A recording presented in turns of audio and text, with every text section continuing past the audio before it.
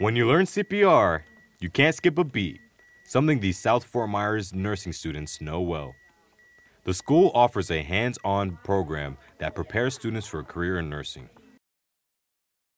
Future nurse Carla Vilha says the program has exposed her to a future full of opportunities. And when we get our certificates for CNA, we apply for Lee, Lee hospitals, and they guide us to where we want to go. Her teacher, Miss Sabine, says the program has made a big difference in many students' lives. The uh, opportunities that Lee Health provides them, um, they can immediately get a job as soon as they pass their exam for the program and graduate.